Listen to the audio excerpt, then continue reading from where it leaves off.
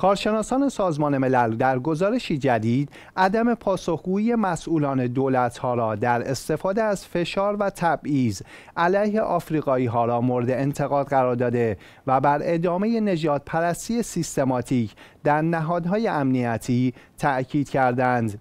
این گزارش بر لزوم اصلاحات در نظارت و حمایت از قربانیان تاکید دارد و بر لزوم تجدید نظر در تغییر نگرش ها که صرف تعلق داشتن به نژادی خاص را جرم انگاری می نماید اصرار می ورزد.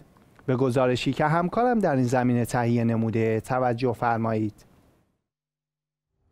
گزارش جدید کارشناسان عدالت نژادی سازمان ملل حاکی از آن است که مسئولان دولت‌های گوناگون به ویژه در بخش های امنیتی و انتظامی و قضایی در استفاده از فشار و اجبار مفرط علیه آفریقایی ها همچنان از پاسخگویی در قبال اقدامات خود سرباز می‌زنند. این گزارش که توسط مکانیزم متخصص برای ارتقای عدالت نژادی منتشر شده بر تداوم نجات پرستی سیستماتیک در نهادهای نظامی و امنیتی و قضایی کشورهای مختلف تاکید دارد. طبق این گزارش رفتارهای تبعیض‌آمیز مانند profiling نژادی، آزار و اذیت و استفاده نادرست از سلاح‌های غیرکشنده به طور گسترده ادامه دارد. profiling نژادی به معنای استفاده از نژاد، قومیت یا ویژگی های ظاهری افراد به عنوان معیارهای اصلی برای ارزیابی آنهاست. به این معنی که افراد به دلیل صرفاً تعلق داشتن به یک نژاد خاص بیشتر در معرض گمان و های نادرست قرار می‌گیرند حتی اگر مدرک و دلیلی برای این قضاوت ها وجود نداشته باشد. این نوع قضاوت ها می تواند به تبعیض و نابرابری در برخورد با افراد منجر شود و به عنوان یکی از اشکال نجات پرستی و نقض حقوق بشر شناخته شود.